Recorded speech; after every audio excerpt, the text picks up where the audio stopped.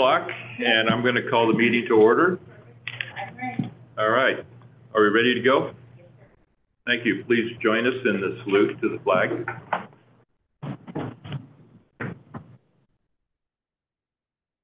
I pledge allegiance to the flag of the United States of America and to the republic for which it stands, one nation, under God, indivisible, with liberty and justice for all. Roll call, please. Here. Division two, Here. Here. Here.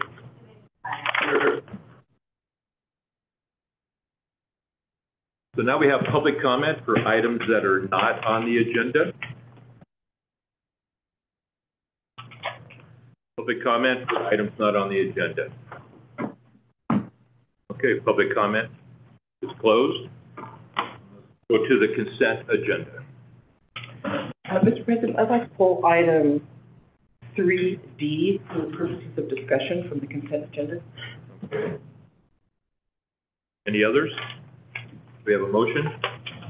A motion to approve consent agenda items three A, three B, three C, and three E. Second that? Any public comment? Roll call, please. Division two, Aye. division three, Aye. division four, Aye. Yes. Yes. Okay, now we'll have three D, which is select property management contract change order and budget amendment. For sixty thousand dollars. Um, so thank you, everyone. I, I wanted to have just some general discussion around this, um, and I had a list of questions that I submitted to management this week. And I just wanted to kind of go over some of this, and everybody else's information. So as, as most of you know, my career has been in real estate, both commercial and residential, and, and I have also had a property management company and so on. So I have something to say about some of this, um, from, a- from experience. So I asked how many of the properties that are owned by NID are improved or residential? And the answer came back, there were eleven. Now, you know what, Jen, I didn't ask though, out of, what are the total number that we own in that, in the Centennial, I'm sorry, in, yeah, in the Bear River drainage? Uh, I can, ha- I can answer a lot of these questions for you, I think. I figured, okay. Well, we can come back to that, but I want everybody to know we own eleven houses, or, you know, Yeah, it was twelve Well- recently, but, uh, we demoed a double wide trailer. Demoed, Demoed, demolished, Demolished. yeah. demoed. And then I wanted to know, of all of the ones that were, that we have, of the ten, um, how many are currently occupied? And the answer came back, it was ten. Um, then I wanted to, to understand and see a schedule of repairs and maintenance and improvements, and, um, that was over five thousand dollars. A And. a month? No, over five, I think of it in my world as like a capital, capital improvement versus just a, a repair, maintenance, okay? So I had asked for a, a schedule for over five thousand, and, um, Jen came back and said, you know, they don't have it organized quite like that as a schedule. Um, and she said the maintenance requests are made by the property manager, and then they discuss it, and then generally they approve the expense. So I said, what repairs are being scheduled to be included in the sixty thousand dollar budget amendment? The answer came back, currently there are two activities in the queue. A renovation and general repairs to a property on Dog Bar for twelve thousand, and another property on Dog Bar for fifty-five hundred for repair to the roof from a falling tree. Other than the future unknown expenses, in twenty twenty-three, we spent 166,000 on general repairs and management fees. So then I asked of, of the management fees, if they could break down, um, what was, you know, property management, and I think of that in terms of collecting rents, and you're communicating with the tenants, and you're handling evictions and those kinds of things, versus fees paid for, like, managing a project, which often are split up in the property management. And Jen said their fees are seven percent of gross rent, but they do not charge anything over and above. Is that still correct? That is correct. That is correct. That's good. That's good. Um, and then I asked, um, of the additional twenty thousand in additional quotes for the work that was mentioned in the staff report, um, what are those things? And it was paint, drywall, deck repair, garbage disposal, you know, some of the just general residential kinds of things. And, um, and so I just said, often I have, as, as a property manager, I have concerns because sometimes those repairs are not necessarily necessary.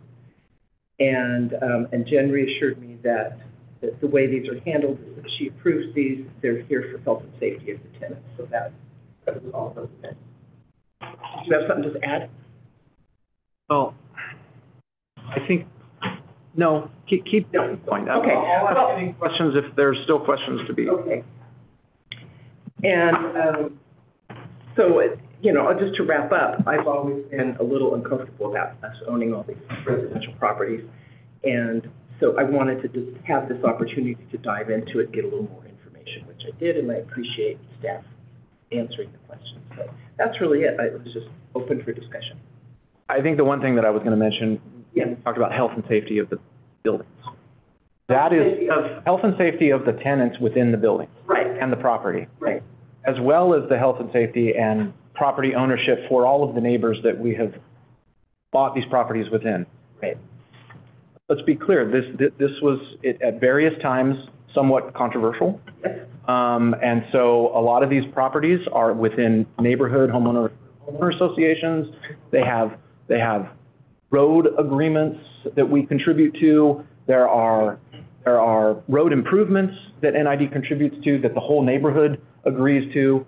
Um, there has been very few, uh, improvements to the homes that once we have received indication from the tenant and then the property manager, that, hey, there's a, there's a, a failing well, there's a pump that needs to be replaced, there's a roof, there's a tree that fell on a roof, there's a tree that fell through a fence line, there's a tree that, you know, um, whatever it be, there, there's aging. Yes. We've done most of those improvements in order to do a couple things. One is to keep the tenant health and, the tenant's health and safety foremost and, and foremost. The property safe for the tenants around it. We've done a lot of tree clearing, we've done a lot of large vegetation removal on, the- some of these properties are ten acres in size. Right. So we've done a whole bunch of, of, of product improvements. Um, to keep, to keep our property that NID owns not the blight of the neighborhood. That's, Exactly. that's really my intent, and that has been, I think, the district's ambition throughout the ownership of these properties. And I think we've done relatively well, um, except these two last evictions. That, that has really caught us a bit off guard. Um, like I said, one of the evictions, we're demolishing the particular home that that individual is in. It is a, it is a, uh double-wide trailer. I think that, well, the wheels are gone, um, but it, it is not in a condition, and it is not of structure that it can be repaired. Um, the other one, part of this is, is a, basically an internal remodel of a renovation of, of the home that was left in bad disrepair. Things like Prior tenant. prior tenant, just really trashed. And so we just need to make it, uh, move-in ready, Habitable? habitable, if you will. Overall, everything we're doing also improves the value of the property. I, I believe it does. Well, or it makes it habitable. I mean, you know, the fact that you have to replace toilets and roofs and things doesn't improve the value. It is assumed that a house will come with a toilet and roof, right? So, And, and the, the addition, the additional funds that, that we're requesting is just so that we don't have to come back to the board. I really don't know what's gonna happen between August twenty-eighth and December thirty-first. Sure. Um, things have come up, like I say, we've just, many of these homes, all of these homes are on wells. Um, we've had to do, you know, um, UV, UV systems, I mean, some of these things are, are going to cost the money. So we, we spent last year hundred and sixty-six thousand dollars, I think, overall. That was project management inclusive. Um, this brings us up to a total budget of around one sixty, so a little less than last year. Um, but then again, this year we had some big expenses that were unanticipated, and I can't really anticipate what those are. So it's really more in line with, with, uh, expense of last year, kind of, even a little less. Um, if we don't spend it, it, the money just goes right back into general fund. And I'm not spending it just to spend it. We, no. And then the, my final comment is, and I, Jen and I talked about this, but the laws have changed really dramatically since July of this year for, um, removing tenants. There's in favor of tenants' rights. And so for the purposes of our board's long-range planning, we need to keep in mind that it can take a very long time to remove tenants as a result of the changes in the law. So it's not a thirty-day or even a sixty-day process anymore. yeah, yeah, we, we currently, most of our tenants, um, have been with us for more than two or three or four years. Um, so thus far, all of them are on time. You know, they're, they're making their payments. Um, so, anyway. Well, I support the budget amendment. I just wanted to dive into it a little bit for myself. Thank you. All right, Okay. uh, motion? What was the any other questions? You have to move. I know, well, I just wondered if there was other questions or I comments will get about. that out. Oh, okay, I'm sorry. I would move that we approve the request for the budget amendment of sixty thousand dollars. I'll second it. All right, Public comment?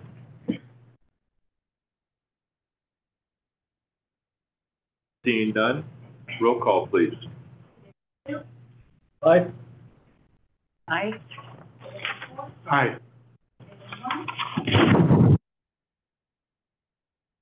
Thank you. All right, we will now go to.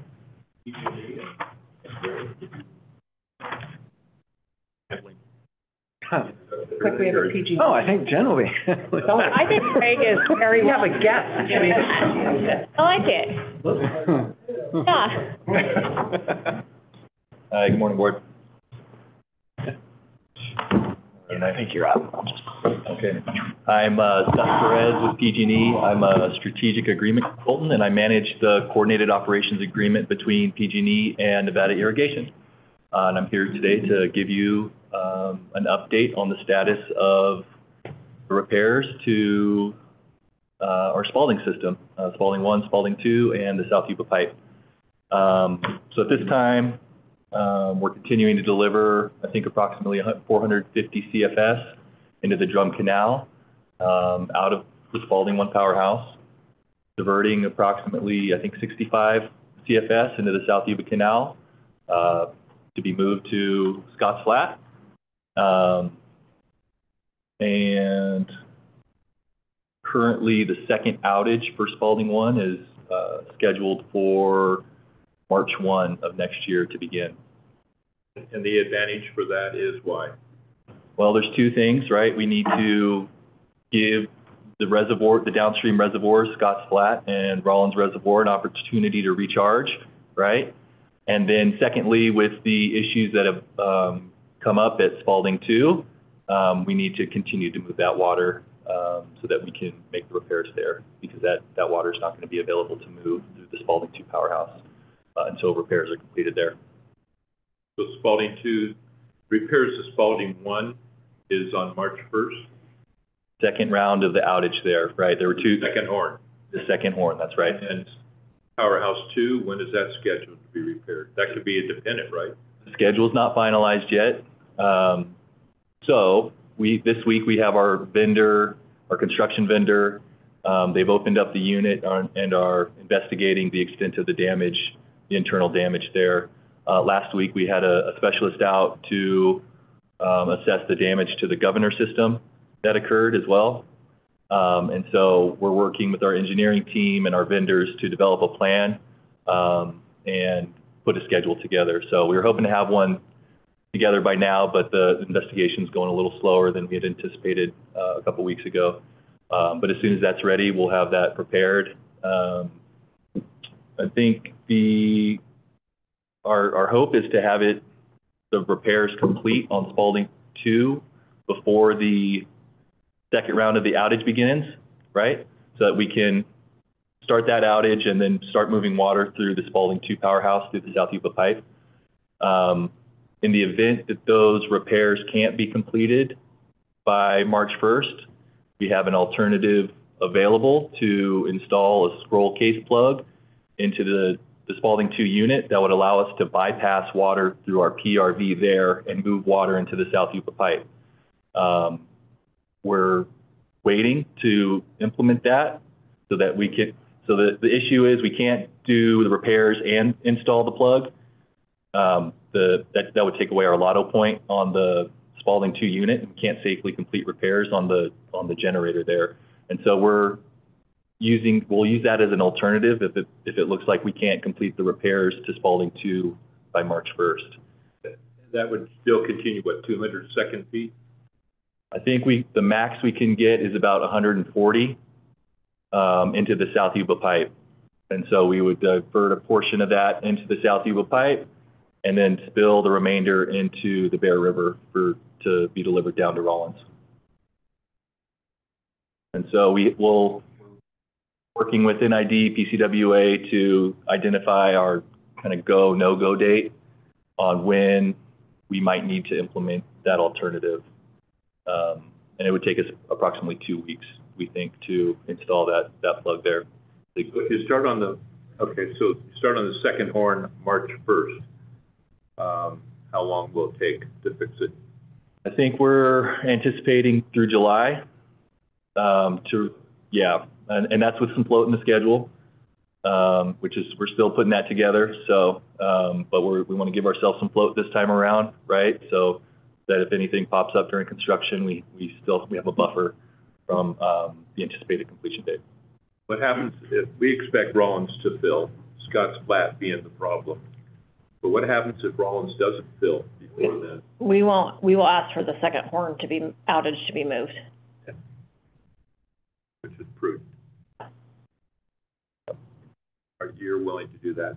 Uh, I think so. A lot of, all of the decisions we've made have been heavily influenced by our ability to deliver water and, you know, make sure that the agencies are able to get water to their customers. So, um, you, you know, I think we'll cross that bridge when we get there, but it's definitely something that we're open to. I think. And we, we've had the discussions with them several times, so they're aware of what our concerns are.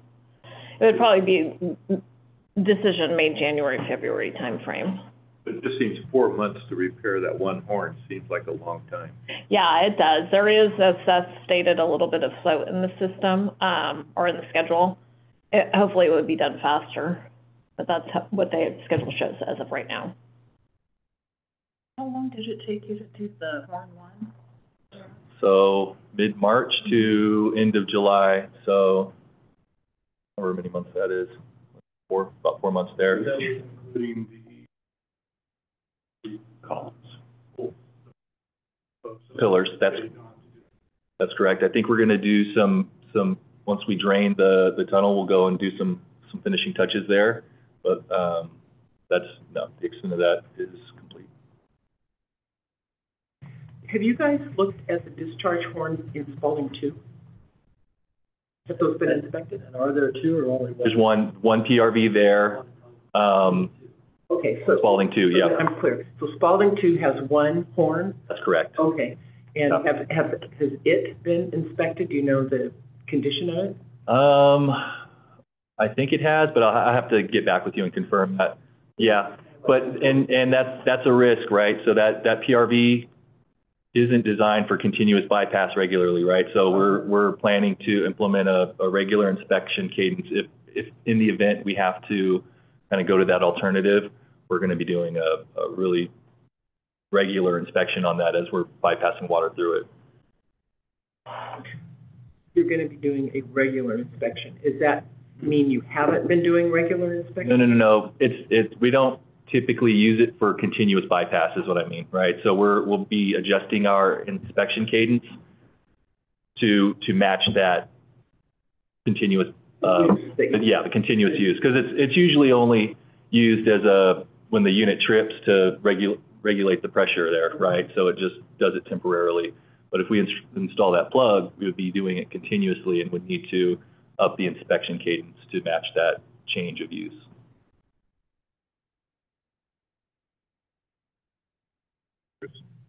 My question. Trevor, any more?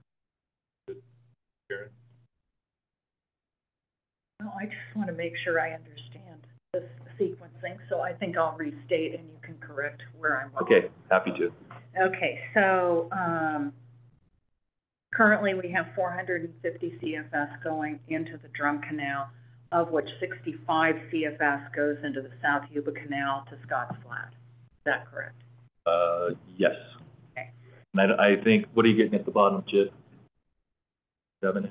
Okay.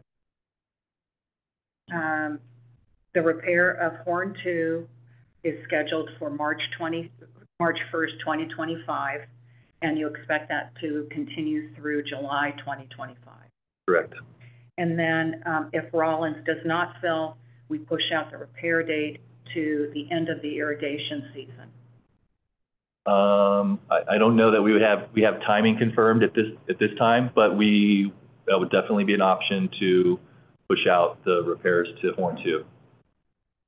So from Jennifer and the team, I'd like to understand what the implications are for service delivery next year if we push out that repair to the, after the end of the irrigation season. Yeah, there, we are, as of right now, not recommending we remove the twenty percent conservation request. So we would stay in the twenty percent. Correct. So you're And we'll make it- anticipating in February not doing a, a surplus water declaration next year? I don't know that we've addressed that yet, but, um, I'm not, we'd have to talk through with Dustin and Chip to see where we land.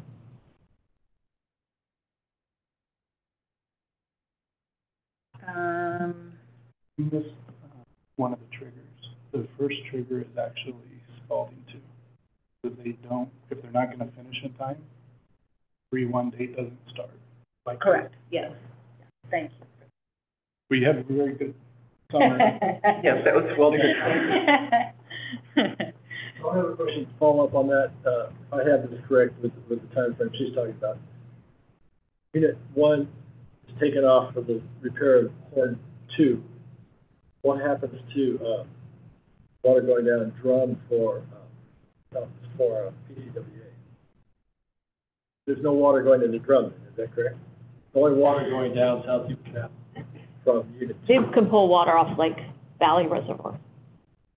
Yeah, and then the plan would be to have Spalding Two back up and running so that we could spill some water into the Bear River. Spill water back the other way, yeah.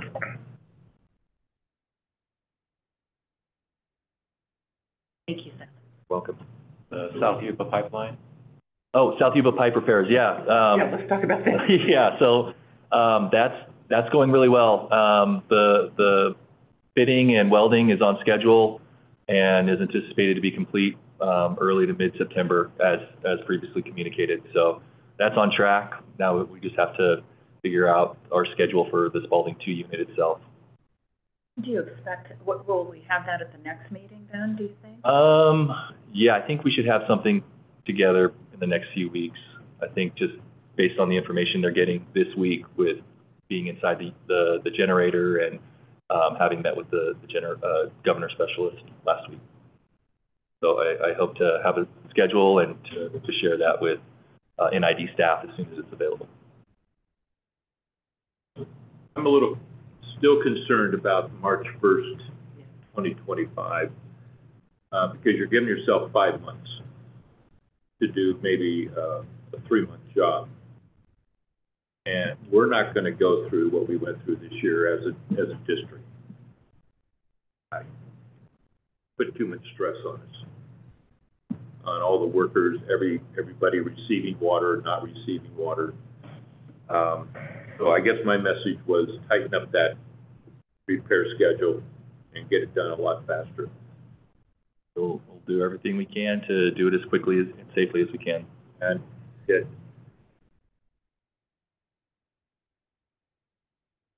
guess I can't say that strong enough. I, I think consistent with that is, um, the pushing back of the timeline was, I mean, I- and I can understand it in the instance for Horn One. But it is very stressful to hear that it's gonna be, you know, April, then it's gonna be May, and then it's gonna be the end of May, then it's gonna be mid-June, then it's, you know, and it just kept going on and on. And it, it, it really undermines the credibility of the company when, and I'm not talking NID, I'm talking PG, PG&E that you can't, we can't count on what the timeline schedule is. And I get it, you were discovering things, but that discovery should be kind of in place for the most part, one would think, for Horn Two, because you just built, rebuilt Horn One. And, and, Yeah. and and it's informing our, our schedule there. So, um, you know, the, the long lead time for the project is, again, gonna be the welding, right? It's, it's a small space and it's very, uh, it takes a long time to do all those welds between the, the, the joints on the, the liner. So, uh, again, that's really kind of the big piece of it, is, is the welding component. You've been welding this one for how long? Which one? Holding one? Yeah. The, the welding hasn't started on the, on the second horn at all. No, I understand, but the first horn, Yep. Complete. complete. Yeah. So they completed less than a month. Yeah, I'd have to, I'd have to go back and compare the It schedule. doesn't sound like it's that Uh, I, I, three months. I mean, I, I think the, you know, the welding was the big driver on the first horn as well. correct. We But- just want to make sure you put forth the same level of effort that you put forth on the first horn in the second one. So you had a staff working twenty-four seven, um, Seven days a week. seven days a week, yeah, and that's the, you know, that's what we would expect for this repair as well, given that our customers are relying on that water, and it creates um, hardship both for our customers and the district to manage our system without full, a fully functioning system. So, um, and I think the company did, uh, you know, obviously, you're putting in twenty-four seven, you can't work any harder than people did. And you got the contractors in place, so we want to see that same level of effort in the next pair of Horn Two. Actually, a little more efficiency because they've done it once. Right. Yeah, And if someone takes a lu, you know, an hour off for lunch, somebody else takes its place in, in the whole welding. I, how do you account economically for all this, all the costs? Uh, I'm not sure. I'd have to go, uh, talk with our, uh, accountants and analysts. You do have that. Is that available? Um, I'm not sure if that's available. Um, I have an additional question that came to me as we were all talking. Um, So, fast forward, we've got, you know, the repair to Horn One done, we're gonna have the repair to Horn Two done. This equipment still is aging, or is, is aged, Uh, you're just doing kind of repairs to already a very old system, is that correct? That's right, yeah. So, um, what is the anticipated life, if you will, of the repairs that you're doing? In other words, when could we expect this same kind of disaster to happen? Or, eh, you know, what, yeah, what is the life of these repairs? I guess that's the best way to say it. I, I, I don't have a, a definite, you know, year range on that. Got it. Right, but, um, you know, the, when the horns in Spalding One were first replaced, those, those liners had been there for eighty years, Understood. right? And so then this, this was really kind of, um, a surprise to see that, that had, these had failed after we had made, replaced them and, you know, about ten years ago. I know, that's. So, and so it's, it's, uh, you know, I, I think when we're looking at a, a, a life of the assets we're installing, we're, we're looking at something closer to the, the first range versus the second, right? So, um, but yeah, a What gives longer you term. For the difference between eighty years versus ten years? What, My question. yeah, what is the, I, like, I can answer that. well, let's let him answer. I would answer, are you using Chinese steel or American? I, I, I, I think the type of material is different, and then there was some different operations at the powerhouse. I, I don't know that there were any operations at the powerhouse that were different, but the, Have we received clarification on that Yep. We've asked, related to, um, continuously running additional water through the powerhouse horns once the powerhouse was derated? as far as I know, the operation of the powerhouse didn't, didn't change Okay. between before the installation of that and after. Sorry, were you gonna say something else? Is the root cause analysis Oh, that's completed? where I was gonna go. What- Uh, it's, it's, it's, uh, not yet completed. All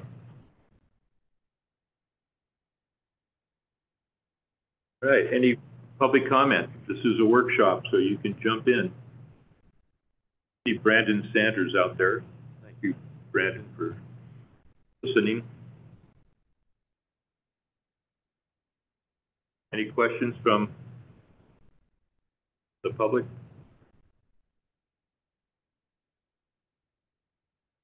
So I think I, All right. uh, W-52 Farm Bureau. And this isn't specifically for Seth, but, um, even just driving here, I'm hearing this, uh, really nice NID commercial on the radio that says that, uh, ditch rotation is continuing. Is that true, or is that just an old commercial? From old Okay, so that's still running, you guys. Thank So you. know. Appreciate it. Thanks. Great. Any further questions? Thank you for showing up and being here and answering their questions. Thanks for having me. See you on September eleventh, and Okay, yeah, if, if, if you want us here, I'll, I can come back and give you an update. We'd like that. Okay, great. Okay, very good. Thank you. Thank you. Thank you. Thanks, Seth. All right, so now we'll go to general order, and five A is cost allocation plan. Um, Yeah, Sandra is back in action here, so welcome back to Sandra. She has a very healthy baby boy named Luke. Congratulations.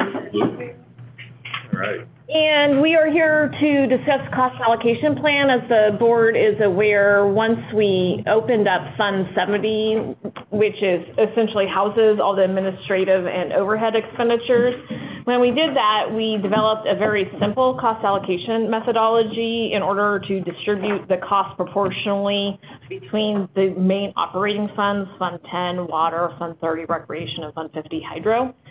And that was essentially based off of a blended calculation of the number of staff and revenue received. In order to shore up the cost allocation, we had a, we initiated a full cost allocation study that was completed by consultants. And once the cost allocation is completed and we wanted to present it to the board, um, request consideration of approval of cost allocation, and then the new cost allocation will inform the budget, and then will inform subsequent, um, budget projections for the rate setting process. So this is some of the effort that's leading us into the rate setting process. So with that, we will go, we have a consultant online that is going to provide a brief presentation. Ask any questions as we're going along. The cost allocation can be a little bit complicated, um, but he'll walk us through it. So if you do have any questions, please feel free to ask them. Great, thank you. Can you hear me? Great. We sure can. Welcome, Tony, with Willdan Financial, so he'll present. Hello, everyone. Uh, would you like me to share my screen and do the presentation or on your end? Yeah, that would be great. Got it. Okay. So while I'm bringing that up, thank you for your time. And I'm going to hopefully go through this and make it as, you know, um, uh, understandable as I can without getting too into uh, any technical jargon or anything like that. But if you do have any questions as I'm going through it, just stop me at any time. Okay. Uh, so I'll just kind of start off with what we're talking about, what the cost allocation plan is, what it does, that sort of thing, right? So really, cost allocation plan's purpose is to identify the functions of an organization, um, how they're providing that support, and allocate uh, those support costs to the units that they are uh, supporting, right? So we want to make sure that we're ensuring uh, that the cost allocation plan is reflecting a, a appropriate or reasonable allocation to those units. Uh, it itself is a it's a tool that does the allocation calculation itself. We build all our models in Excel. Uh, they need to be specifically catered around each organization that we're working with. So Uh, it's based off of your agency's uh, expenditure budget, uh, how it's formatted, how it looks, and and how we incorporate all the data needs to conform to that. And at the end of the process, we want to make sure that again that the allocations are um, reasonably representing how support is being provided, and I'll discuss how we go about doing that. So the primary building blocks of the model is to first identify what the central fun- the central services of an of your agency are, so that we can then identify what the central functions of each of those services are, right? Uh, so you know, within finance, you know, there's purchasing and all and accounting and all those other functions uh, that we want to allocate out.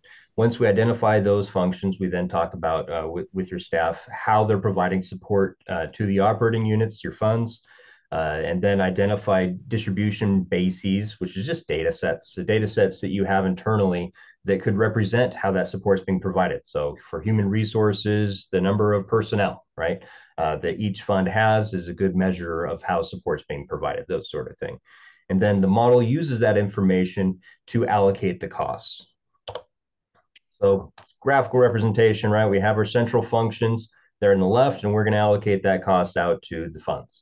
Uh, we actually do it at the department level for the calculations, and then we roll it up at the end. So I'll show you both uh, through this presentation.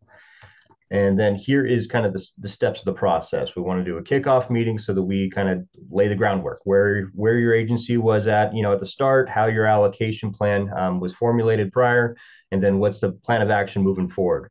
We collect a lot of financial and expenditure data, right? So your org structure, the budget, the revenues, and a bunch of other information so that we can try to get a good lay of the land on how you all operate. And then we develop our Excel model around that data to make sure that it fits to the way that um, uh, that you all operate and how your budget is formatted and uh, how your departments are structured and things of that nature. and we discuss with finance uh, what what each uh, expenditure code means, what what type of costs are within each one. So we're make, making sure that the model knows how to treat each of the object codes, departments, and every other part of your budget structure. Uh, we review your current cost allocation plan for how it was formula, uh, formulated, not primarily like what was the result, right? How were those allocations flowing? Uh, just to try to see if we can identify if there was anything that when we're doing that organizational check uh, for central functions if we're missing anything, or if there's certain things we identify that weren't in there previously. Uh, so things like engineering was included in this round, which wasn't included in the prior. then we identify uh, those central functions as well as the services that they they reside within, uh, identifying what can be allocated, what shouldn't be allocated, uh, based off of identifying is it a support cost uh, to those funds. And all throughout the process, from the beginning to the end, we're having meetings and emails with staff to make sure that we are fully understanding how the organization operates, uh, any data sets that we're using are, are being used appropriately based off of kind of what uh, I'd say like, you know, using FTEs for human resources, is that a good measure for how, um, how support is being provided? So all throughout the process, showing how the calculations are being done and walking that through, make sure that it's all reasonable. Here's an example of kind of how that looks. Uh, so if we identify a central function, we then attach it to data sets uh, based off of a, you know a reasonable basis of how support is being provided. Uh, we do while this isn't a federally compliant plan uh, that I'm going to be showing you. It what it is. Um, it still conforms to their policies and procedures and recommendations for how plans should be devised. And so there's certain fallbacks to use if we don't have a data set available. So for accounting, uh, it's primarily based off of what your largest departments and funds are. So that is a heavier weight in their allocation. But there's also a personnel factor being accounted for. So there's a 75 25 split in there. For communications, there's not a direct data set that's being collected that can tell us exactly how they're providing support throughout your organization. So our fallback is typically going to be either should we allocate based off of the number of personnel, or is it more of the size of the department fund that is the driver for how allocation should go? And so, uh, as is typical, we use total cost for that. Uh, so that's 100% of the way that was allocated. Directors, uh, so for the directors, we allocated based off a three-way split of total cost, FTEs, and how many agendas, right? So what are the activities within the organization that are happening in the past year that could dictate how support and flow should go? So while we have uh, I'd say the first two of uh, total cost and FTEs is a measure of potential. Uh, the agenda is also, it gives a good measure of what has been so that we can also account for, um, you know, certain nuances within your organization. Human resources, I mentioned using FTEs, but we also do a weighting factor based off salaries and benefits. So the higher positions do have a weighting uh, effect of that allocation. And for purchasing, we're using total purchase orders. now, this slide's showing you there's more than just those examples. Uh, with yeah, go ahead. Can we go back to the last slide? Yeah. So, um, what is the rationale for weighting salaries and benefits? I mean, is it found that higher salaried employees take more effort from the HR department? What's the foundation for that? So typically it is, I'd say for most, it is included because there is more cost involved with hiring, recruiting, onboarding, and, and those sort of activities. Uh, so it, it doesn't necessarily provide a big impact on that because more bodies is more salaries anyway, but uh, it does have some level of, of uh, effect if you do have some higher uh, cost positions within a certain department, they would get more of an allocation than a lower cost in another. I just, I find that modified total direct cost is an interesting category um, because it's, it's hard to assess whether, um, and I'm sure with your experience, you know these things to play out, but it's hard for me to understand how one's budget is a, at least I'm assuming that's one's total budget under to modified total direct cost. Um, how that ties to communications versus, um, you know, kind of where we spend time as a district communicating about our programs and services. So that, that one kind of I find interesting. I don't know how else you would do it, but um, it, it doesn't, I don't see really the connection between the total budget and how the district is spending effort toward its communications program. Yeah, I'll, I'll take it a step further. It, it's much more nebulous than any others on there. I agree with you there. Uh, so communications has been a thing that has been popping up more and more over the past like five, seven years. Uh, and without there being a tracking of, you know, we're, you know, doing these communications and things of that nature with, without there being that sort of uh, data set that we can tie to, we this is where the OMB cost principles or federal cost principles come into play, where they say, look, if there's not a data set that can provide a good link to how service provided, we know it's still a central function though to allocate, then use the budget uh, or actuals as a way to allocate. Now, for modified total direct costs, I didn't define it. That comes out of the cost principles as well. And really what that is, it, it is the budget, but we're excluding certain cost items because they overinflate budgets for the purposes of doing an allocation. So capital, debt, and transfers are excluded from that so that those sort of costs do not overinflate how we're sending costs. So it's really just the personnel and the operating costs that they have surrounding uh, their operations, which are affecting that allocation. So it's trying to narrow it down to, well, what are the operations that, um, that we need to account for for our total cost allocation? I, I appreciate that explanation. That makes it clearer to me. And, you know, in the big scheme of things, communications is not a huge expenditure, so it's, uh, but you have a, a methodology for making that, that alignment as you have, so that's good to know.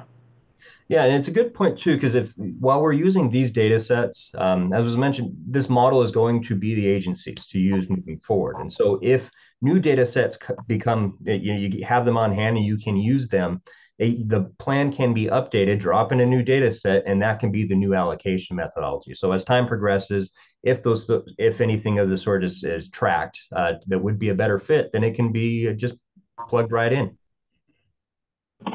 That's great.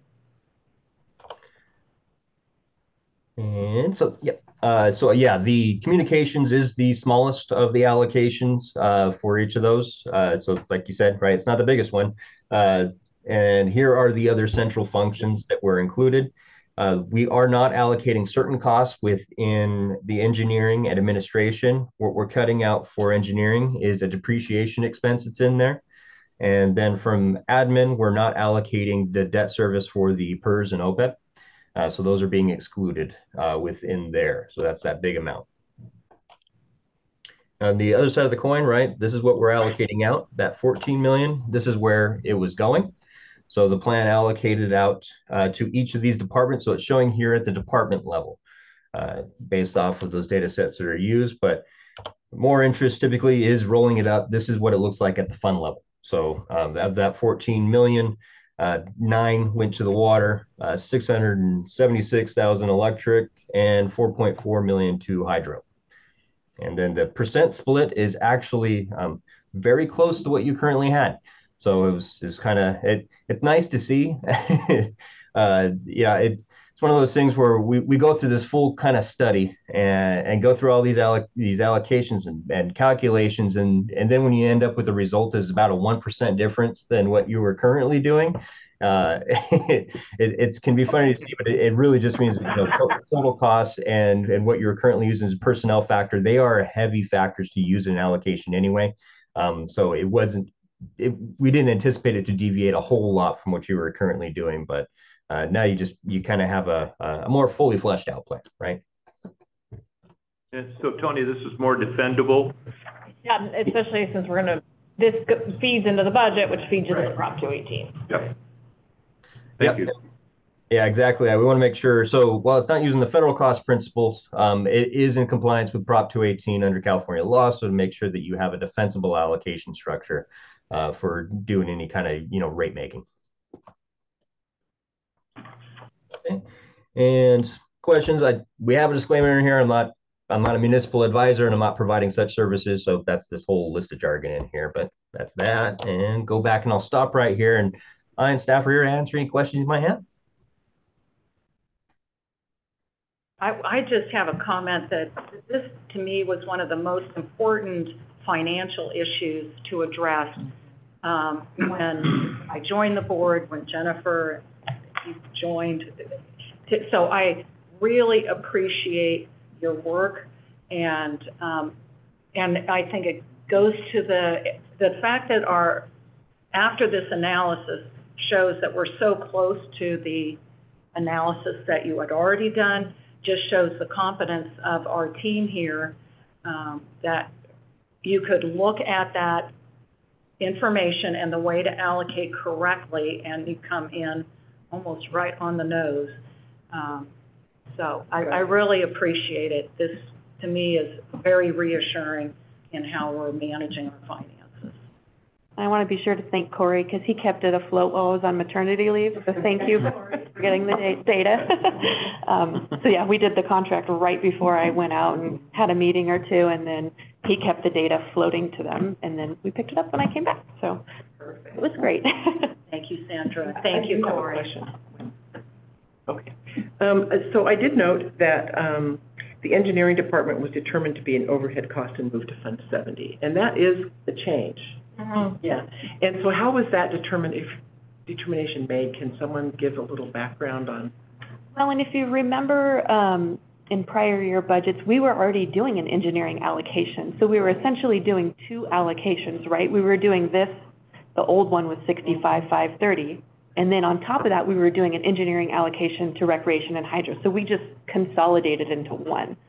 So we were already doing it for the district, and, and engineering really does help all of the departments. Right. So we'll use the factor each year, we'll look at the number of CIP projects per each fund, and then it'll adjust this allocation accordingly in engineering specific. So as Tony mentioned, this uh, plan goes down to the department level. I mean, this workbook is massive, and it does iteration and iteration and iteration to then roll up to the fund. So it is very, very detailed and very detailed.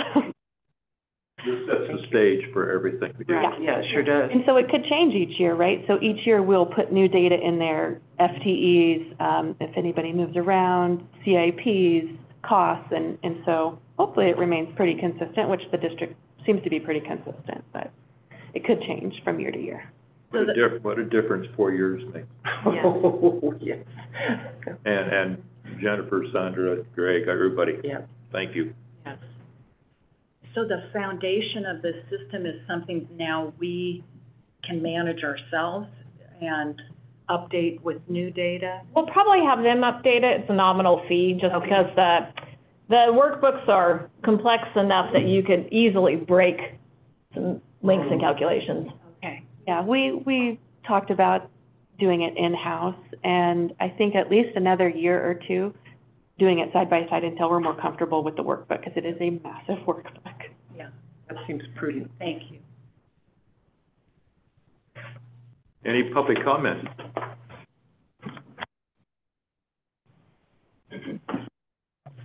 Public comment? Seeing none, uh, can I have a motion?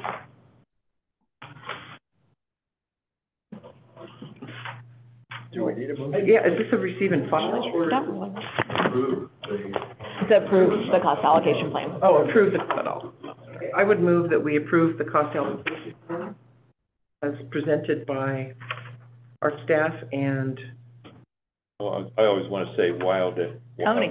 Willdan, I know, uh, Willdan, Willdan, Yeah. thank you, yes, and Willdan, thank you. Second? Uh, no more conversation? Roll call, please. Division two, Aye. division three, Aye. Aye. Yes, division five. Yes. Sandra, great work. Thank you, Tony. Excellent. Corey, you're out there, thank He's out there. you. All He's out there. Good job, Corey. Thank you, Tony, and your team. very nice. All right, so we're going on to five B, which is uh, Tyler Munis, ERP project, and it's a relaunch. Yes. Been a Good morning, board. Jones, Assistant General Manager, um, bring this item to you with a little bittersweet. Start with a little bit of the bitter, and then we'll end with the sweet. Um, so we're bringing to you today uh, a resolution seeking to um, award contract with Tyler Munis ERP for a not to exceed of $1,783,433 and approve a capital budget amendment into Fund seventy of three hundred and ninety-three dollars, three hundred and ninety-three thousand, oh thirty-one. There's a bit of a typo on the original resolution, I'll just get that out of the way. Uh, and so we do have to make an adjustment to the resolution before. Um, so I'll go through this, uh, briefly, just historical, and then we can answer questions if you have them as we move through. We have a representative from Tyler online, so technical questions if you have them regarding the ERP and, and CMMS, which is the EMS program. Um, we have John, uh, Ortiz, who's our IT administrator in the room as well, and Sandra, obviously, with our finance. So, so, uh, bringing in the big guns to answer some questions if you may have them forward. Um, so, Looking backwards for a minute, uh, in 2019, the board approved Resolution 2019, which is to implement the ERP and CMMS project uh, with a budget of $2.7 million. Um, That, that, that uh, project implementation back then included uh, ERP software uh, licensing and implementation. It included CMMS configuration and content data. Uh, It also included uh, contract, contract management for project management for the project itself for two specific uh, contractors at the time. Um, The, the project, which is number 2295, um, was the design, development, and implementation of both systems simultaneously. And they were two completely different systems. One was uh, well, they were two completely different systems. One was the financial management system of Pentimation, and another was a computerized maintenance management system, or CMMS, from a company called Lucity. Uh, NID identified that prior to this, both of our, both of our legacy programs um, for financial management and computerized systems were inefficient, um, outdated, and did not support the complex operations um, uh, of the district moving forward. In 2018, so, so in 2018, we started looking at this, the district as a whole. Um, We, if you have questions, you can ask, but, okay, all right, that's okay. that Commenting that rude. that, yeah. Okay, being all right. rude. Okay. Rude is okay. I'm okay with No. Once. Um, so in 2018, we designed a, uh, two, two paths. Uh, the first was for a request for information from nine different, well, from firms, uh, that had to do with the ERP software management system of the district. Um, we went out to nine firms for request, request for information. Um, from that, we developed a request for proposal. That request for proposal went out and we received nine response, or I'm sorry, three responses from the ERP side of the software program. Um, uh, and out of that program, out of that request for proposal program, Tyler Technologies, Tyler was the chosen choice with, from, um, the, uh, request for proposals that were received back then. Tyler is a provider of the ERP, or they're an integrator of someone else's ERP? They're the provider of the ERP. Yeah, and they're government focused, they only do government. Whereas Some of these other softwares do private sector and everything, so that's probably why the district chose them back then. Yeah, the three at the time, um, the three that came to us as a proposal, an actual request for proposal that were completed, uh, there were companies called Harris Enterprise, uh, Edmunds and Associates, and then Tyler were the three. No Uh, um, the request for information that went out originally went to groups like Microsoft, uh, NetSuite, Ramco, Cogsdale. I don't see Oracle on that list.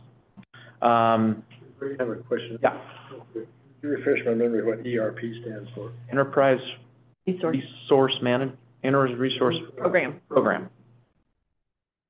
Our financial, human resources, accounting software program. Concurrently, at the same time, NID conducted a analysis of requirements needed for a CMMS package, which is, which is all assets included within systems, particularly the hydroelectric, um, department, um, um, power plants, as everything's broken down into subcategories, and then you categorize schedule of maintenance, et cetera. Water treatment plants, that sort of thing. Um, a, a, a group of staff and consultants were defined and talked about different requirements that we would need. We had our consultant go out and do a cross-industry search of different organizations out there and sort of tried to match um, what our requirements were versus what was out there in the market at the time.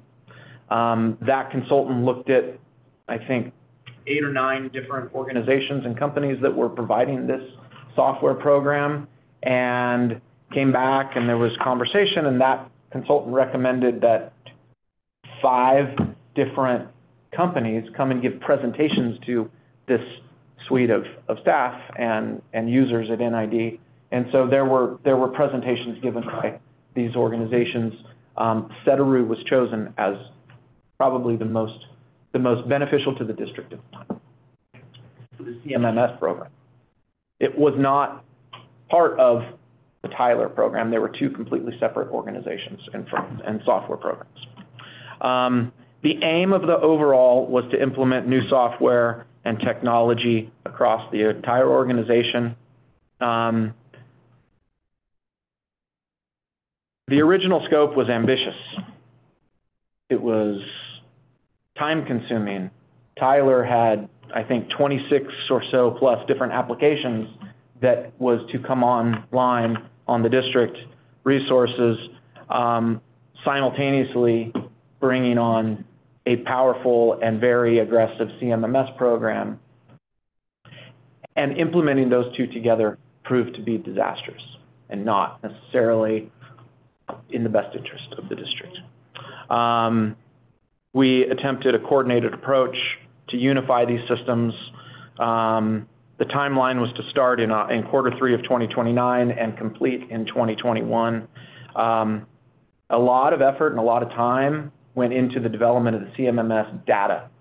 So all of the bill of materials essentially to a powerhouse, to a water treatment plant, the, the schedule of updates and maintenance and changes and the resources needed to complete all that was, uh, took, took a lot of effort, a lot of thought and a lot of time. And we have a lot of that information still. That information is not throwaway. It's still valid. Um, but it did consume a large portion of that project funding over the period of time. Um, as we moved through the process as well, uh, it was it was made clear to us that Sedaru, who was the company that we had hired to do the program and the software, um, gave us note that they were no longer carrying the CMMS product line. They were bought up. The, that product line was discontinued from their services, and therefore there was no more work to be done on it. Um, in total, project 22 to 95 spent a little over $2.7 million. We have, uh, through that process, like I say, a, a large body of work that was done to complete the data analysis and the implementation of a future CMMS program. We have the bill of materials, we have scheduling, we have maintenance activities for a lot of hydroelectric plants, for a lot of our water treatment systems. I can't tell you exactly to what degree and what level, but we did do a lot of work there that I think will be able to be transferred. Um, we also have ERP software licenses within this package that that are valued, you know, and noted in the staff report, a little over $600,000 worth of software licenses that we will continue through the Tyler system. So we're going to continue with the Tyler. Um, but first, I just want to be clear that, you know, we, we did run into some difficulties, uh, you know, in, in, in sort of a post-mortem analysis of this process. Uh, come up with a number of activities that we can not replicate in the future. Um, in, inadequate internal management coupled with deliverables that were probably a little too far out of reach. Um, unrealistic scopes ultimately led to Sedaru announcing they were not going to complete anything, and they basically walked away from the program. Um, COVID-19 seemed to be, uh, you know, it put its face in there somewhere. Uh, you know, really there was internal communication issues, and um, we had some key stakeholders who were who were important to shepherd these big, large projects forward. Were gone.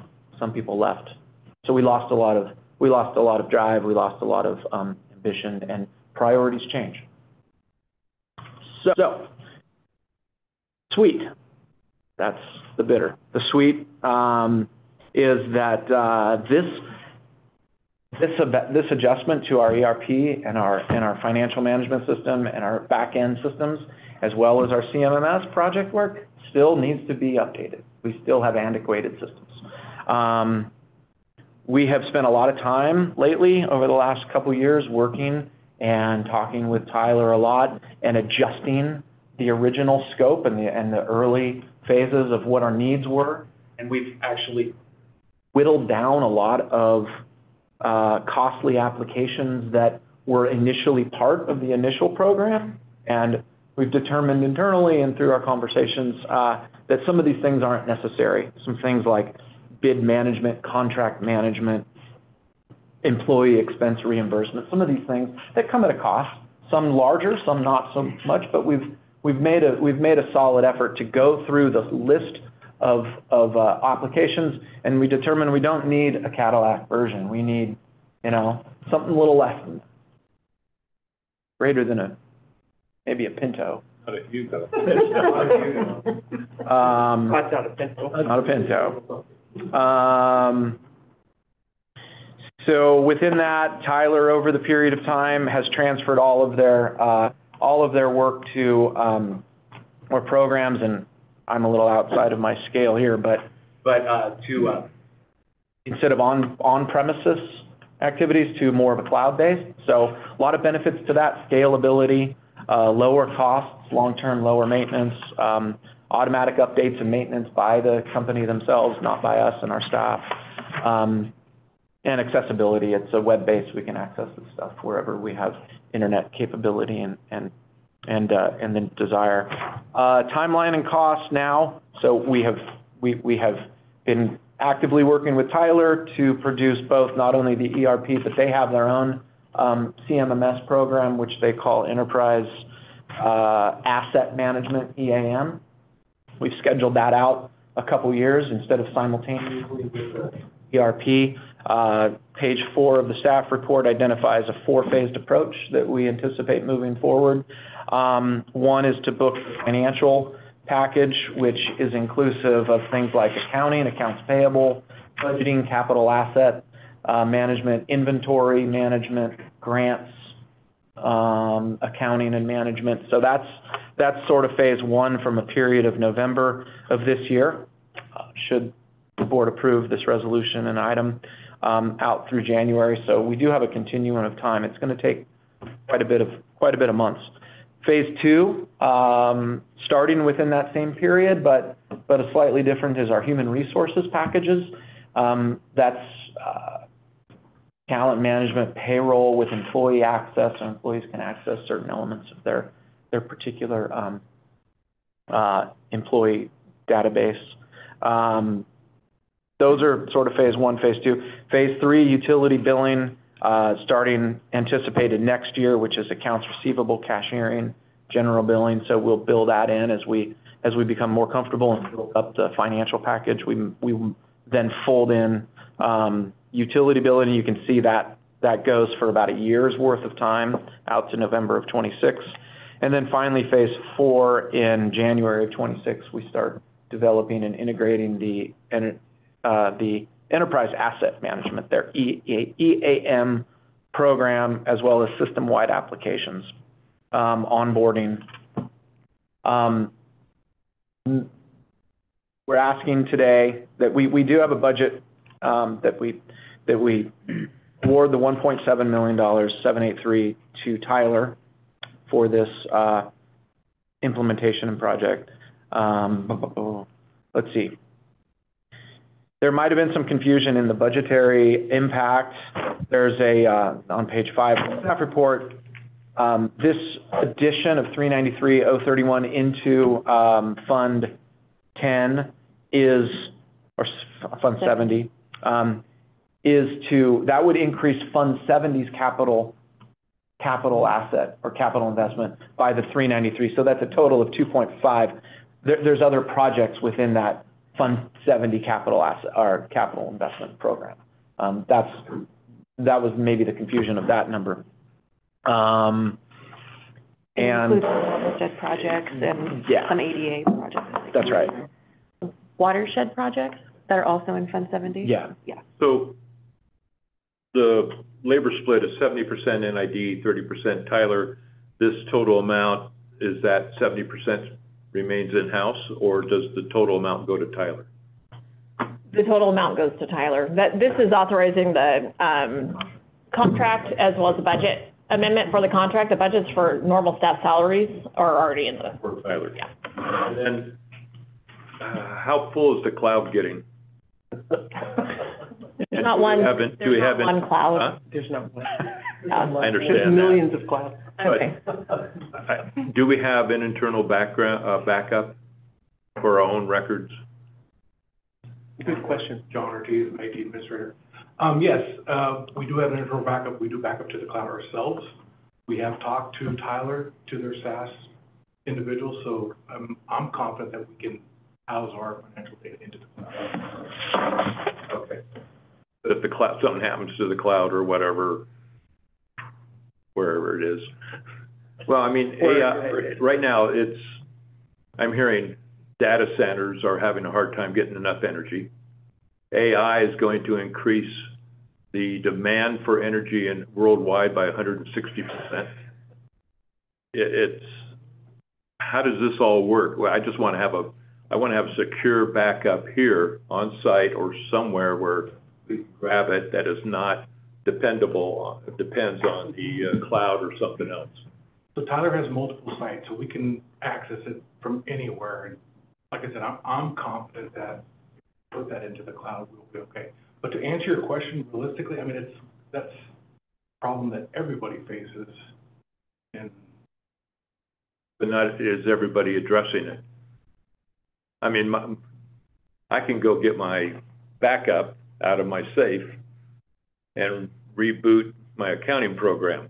Can we do the same thing? we, we do back up our software, we back up our application, we back up our data. Not only do we back it up locally, but we also send it off into the cloud Right, again. But we replicate and we duplicate our backups. that's the So we answer, have great, double, we have double backup? Probably a triple backup. Triple backup, okay.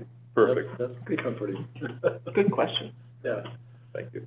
And then, um, we did a cost of service study, what, five years ago or so? Longer ago. Uh, Um, we will, we will need to do a new one with using Tyler or, and the previous, They're not really linked together. Tyler is just a financial management system. A cost of service study is related to rates, and it just pulls data out of it. right, I'm not quite sure. well, but, okay, but we can, what we just approved on, um, That's a cost allocation? yeah, The cost allocation's not really related to Tyler either. I'm- Okay. Maybe I'm not following what your question is. well, we did a cost of service study, um, maybe six years ago. Right. And, um, I guess the first question is, can we trust the numbers? And two, do, are we going to do a second one based on what we've done today? Um, any of, Well, that's not really related to this item. This is just not the related. Tyler, right, but Yeah, the previous item probably. Yeah, uh, maybe we can talk offline so I can understand. I'm not really following what you're asking. All right, but, but then, do we need to do a new cost of service study? The change rates you Yes. want to do. Yeah, Yeah. but that's part of rate setting. I'm not sure how that's associated with cost allocation or this item. Well, Tyler seems we get better numbers, right?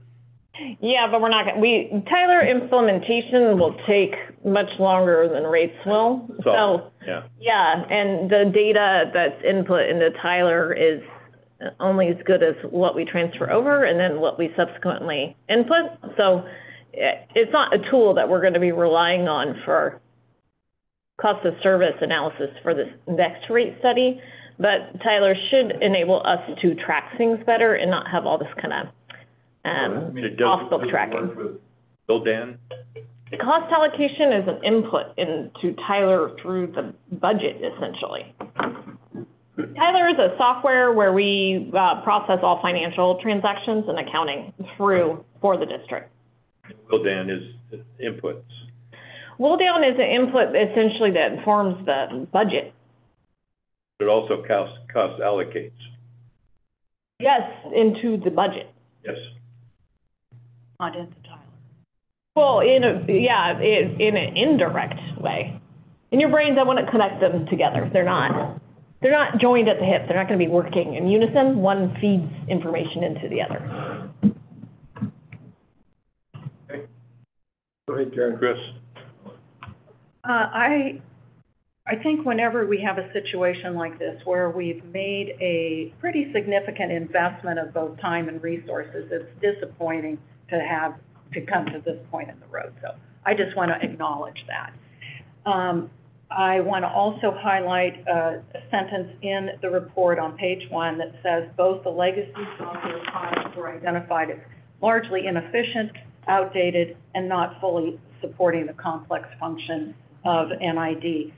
So that observation was made about the original software dating back to 2019. So we're five years later, and it's even less efficient and less supportive of this organization.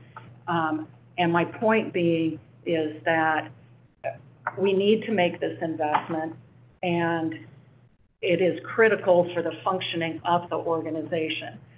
There's, there's one piece that isn't mentioned here is something that Jennifer talked about when she joined the district, is that the accounting structure needed to be completely revised before we could ever have implemented that ERP. And that was something that I don't believe was ever brought to the board Correct. um, at the time the decision was made to invest in this system. So maybe I wasn't here then, But Jennifer identified that as a weakness in terms of implementing an ERP. And Sandra, Jennifer, and the accounting team worked endless hours to correct that weakness so that we could be at a point where we are today, where we can implement an ERP. So I want to just acknowledge that there were three years' worth of work that took us to get this foundation, a solid foundation now laid in place.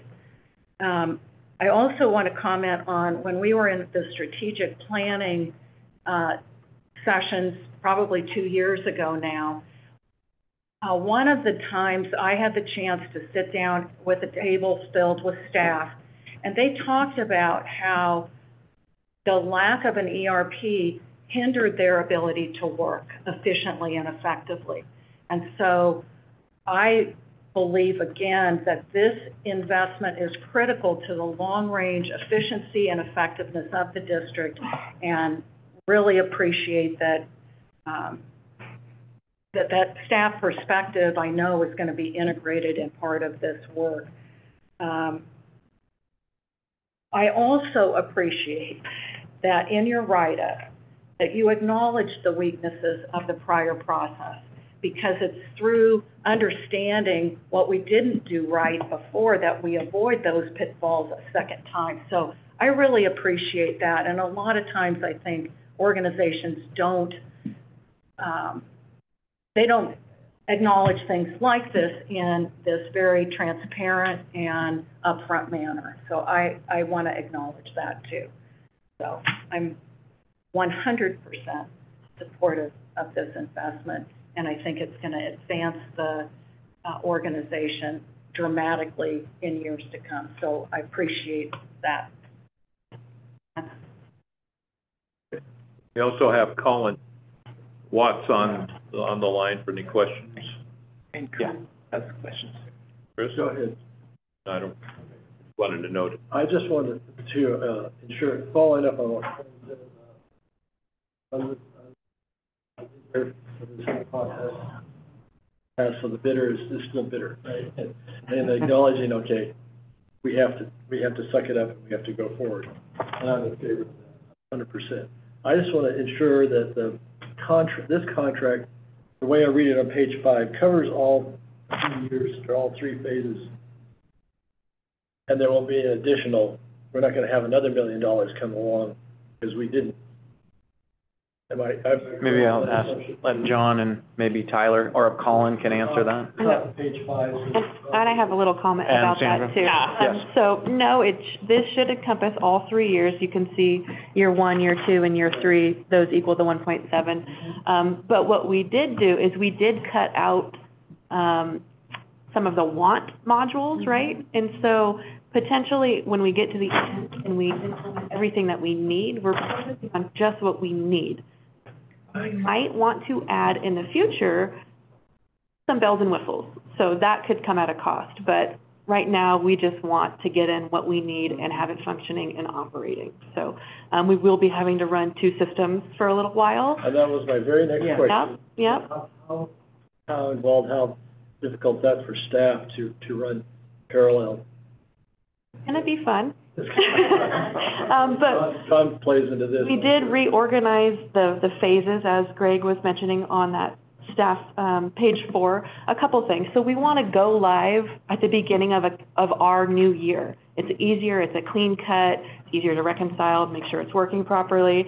Um, and then we did combine finance and HR. Before, that was split, but they really go hand in hand. Payroll and everything goes hand in hand with HR. So we are kind of pushing those two to go live together, which will leave just behind, um, utility billing, which is a huge part, right? Um, but it will be easier to do the data extract of just that and import into Tyler. So, uh, we worked through that quite a bit on how we can finesse and rearrange, and, and Tyler actually recommended that that was a good strategy too, so. To add to that, other consultants and other agencies have done the same thing, so we lean on them for some help to, some experience, so to go that direction with those applications. Yeah, Thank you. Question two. Okay. Uh, I appreciate the background, because I wasn't here. Thank you for that. And I did look up Tyler, they're very reputable, good company. Um, so, nice. I don't understand this at all. What I boil this down to, would, would it be fair to say when you guys set out, uh, in eighteen, that there was a certain amount of money that was required for the ERP and a certain amount for the CMMS, and the total of that was the two point seven five million? Yeah. So how much of that, um, how much of this new money that you're asking is going towards the ERP?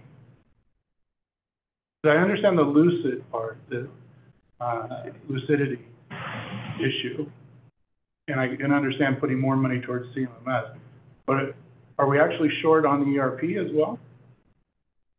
Yes, because we essentially have to re, re-implement and pay for the implementation on Tyler's side again because the district had gone through that implementation unsuccessfully. That's what I don't understand. What was unsuccessful about it? Sedaru program.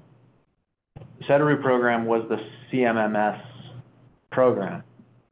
And that, like we said in here, took, took a lot of our effort and money where we had to build, build the materials, understand what complexities are within particular, uh, maintenance operational activities that are monthly, quarterly, annual. Um, that was built under a software program called Sedaru, who we contracted with at the time. That company, Sedaru, during that period from 2019 to a couple years ago, uh, was bought out, I believe, um, and they discontinued the use of CMMS. They can discontinue that line basically altogether. So we were left with a contract with no, no, um, company to There was no recourse at the time contractually, do we? We- And We we- looked at it, I, honestly, I, I'd have to report back to the board on the details. A colleague of mine in the firm handled this. Yeah, There was a dispute with Sedaru. there was a, Yeah, we withheld payment of a final invoice. There was no other legal recourse through the contract. Some of the challenges were, when I came, um, there had been a pile of money spent and no, no product to show for anything. I think that one of the fundamental issues was that there was no chance of success with Sedaru being mirrored into Tyler ERP because there are two proprietary softwares. And there were some commitments that were originally made that that, on behalf of both companies, Federal specifically, that that was going to be kind of a piece of cake. So the idea would be that you have this work order system that also tracks assets, that tracks actual work, uh, materials, supplies, and then it feeds into the financial system. That was never going to happen. So that right there wasted a colossal amount of money, that particular decision. Um, and then when, you know, when we, when I started kind of looking, because we had, when I was at a previous employer, and Sandra and I, we had initiated an ERP, and you often see these ERPs fail for one fundamental reason, the finance, the accounting side is a mess. So there was really nothing, a whole lot to show for what all this money had been spent on. It was a lot of just spinning of wheels. Um, But the ERP, so the, the problem that I'm having in my head, the ERP system is a database. So there's some computers and there's some software. You Yeah. either get it from Oracle or SAP or in this case Tyler. Like that was purchased, those servers and that software. Or the, you're, you're paying a subscription, it was all cloud-based. Before I'm just wondering like where'd the ERP money go? Not the integration money. Before it was on-prem. Yeah. So the European money, we do have perpetual licensing, well, we bought, we purchased the licenses. Okay. So A lot of that money went into the implementation, like Jennifer said. And to implement two organization software together, that really. I don't understand the word implementation.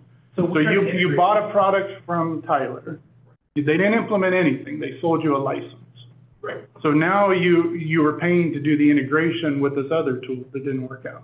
I understand that. So how much of the one point, or two point seven five million was for the servers and the licensing for the ERP system. Six hundred and, I think. It's in the- Yeah, it's in the staff report.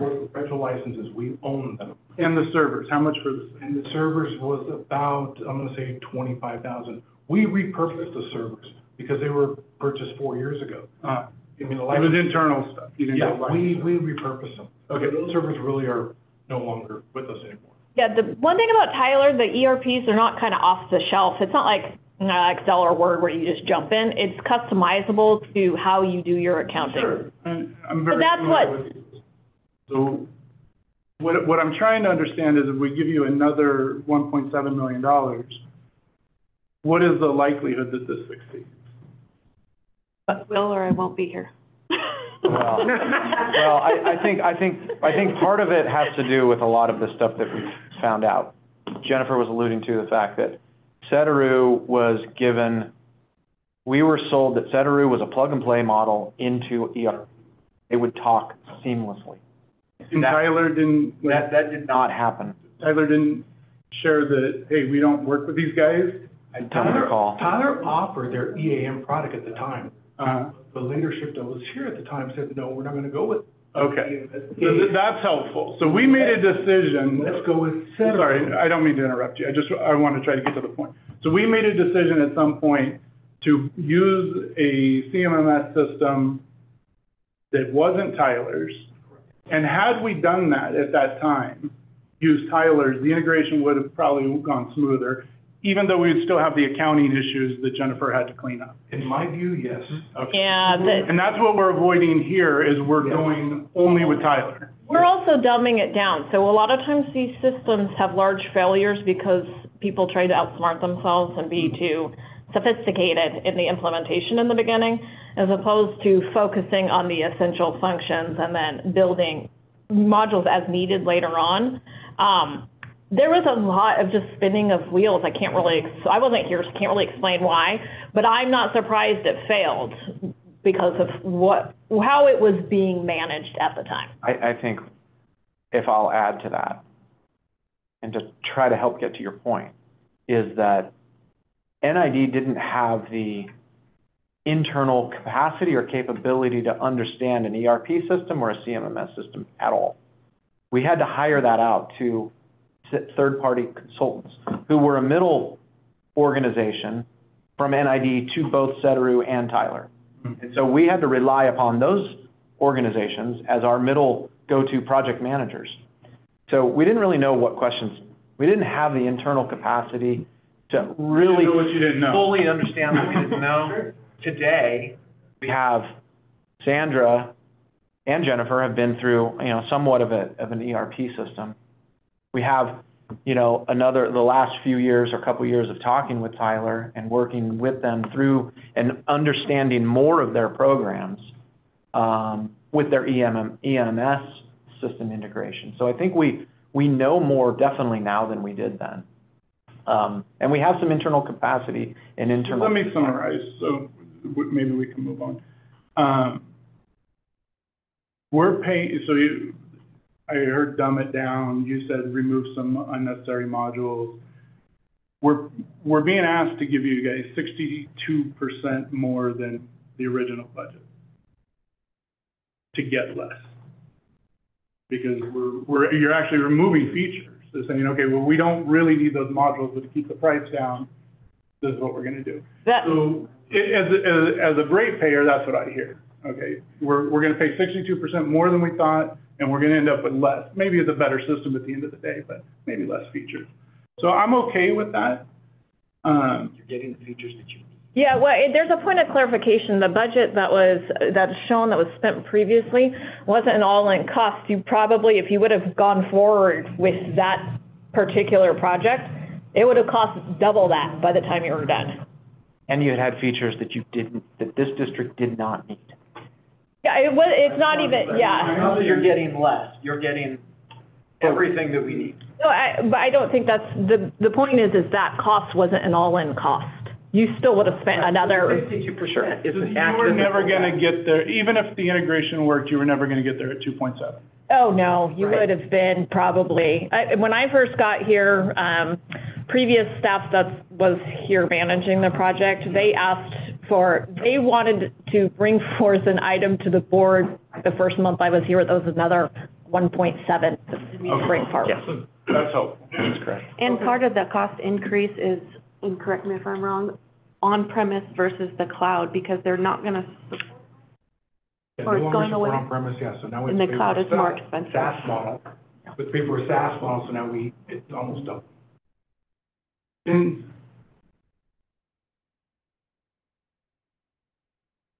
But we paid for the license for the on-prem. data support, So the six hundred thousand for the license is wasted money? because that's our license. License. So what, what's, what's the associated recurring cost for the SaaS? Just time on AWS? Time, maintenance, support, What, is that in here? Is that what the monthly recurring fee is? that is in there. It's, it's a piece of that. It, it, it's not in there the following year in twenty twenty-six or twenty twenty-seven? Seven. For the following year, that's not in there. The ongoing fee, but the SaaS model, or the SaaS fees are in there. Yeah, it's, it's, it, it's right here on, I think, page five. So you're gonna pay time just to move data up and down on the, that's an ongoing cost. But There's the difference between doing it on-prem versus in the cloud. Uh, I'm not against it, but the cost analysis, it, it sounds like it doesn't matter because they don't support on-prem anymore. Support it So the six hundred grand for the, the on-site license isn't wasted? They're in user licenses. Whether you do a SaaS model or an on-prem model? Okay. That would be, a- that would be unfortunate. The, the whole thing is definitely unfortunate, and it's definitely hard pill to swallow.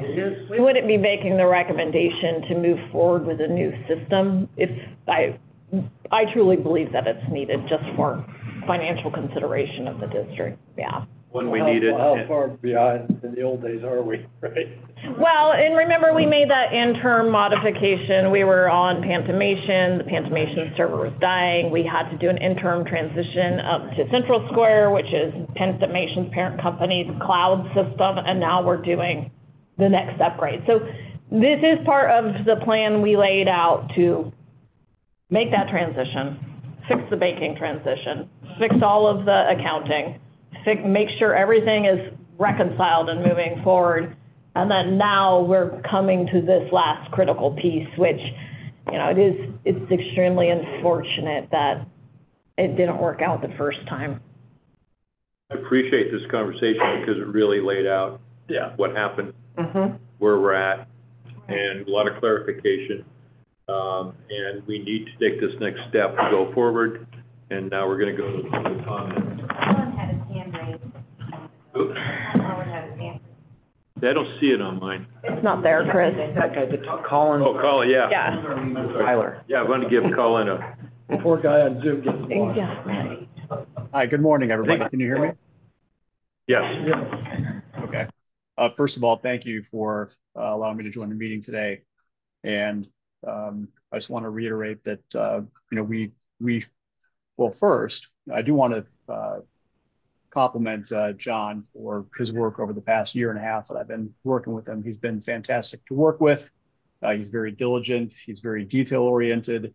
He asks um, any question he needs to ask to get the information he needs. And, and as somebody who works hard to uh, to work with uh, special districts specifically to convey concepts that are, you know, really not everyday concepts for everybody when it comes to things like the cloud and software and automation and workflow and, and things that we deliver to our clients.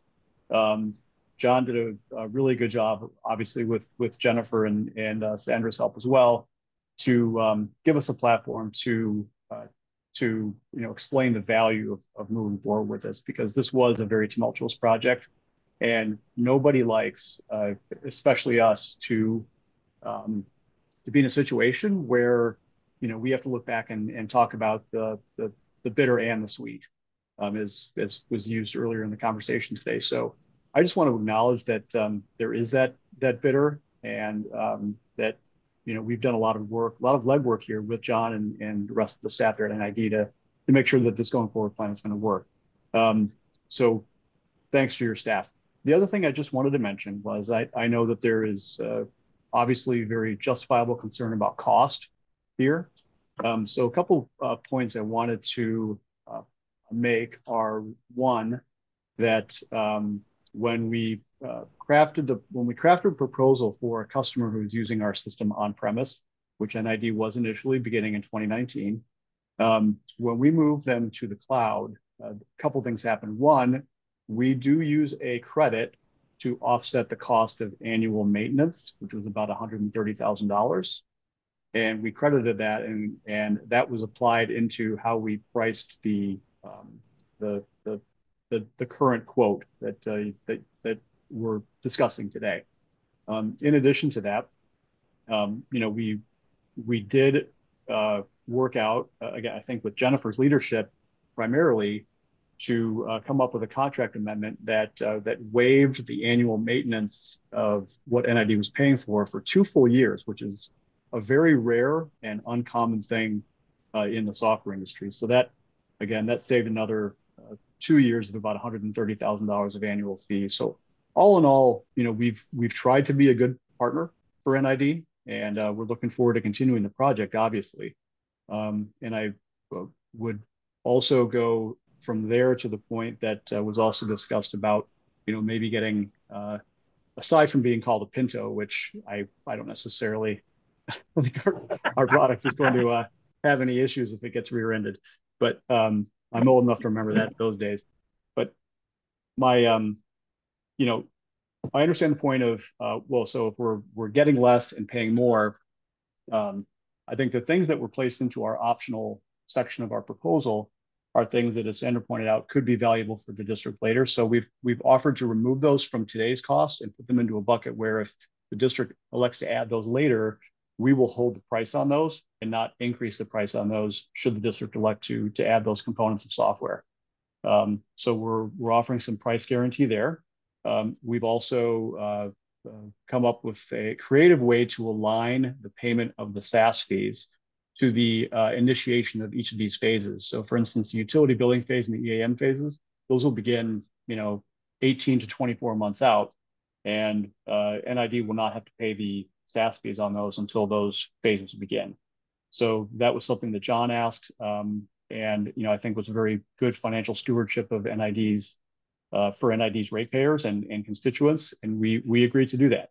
Um, so really, I, I, I, I my point here, I guess, is I'm just trying to say that I appreciate the the costliness of this effort. Um, I can tell you that you know with the uh, hundreds of different municipalities in California that we've worked with, many of which are special districts, um, that we've delivered a lot of efficiencies that we're proud of, and we're gonna we're gonna work hard to do the same for NID.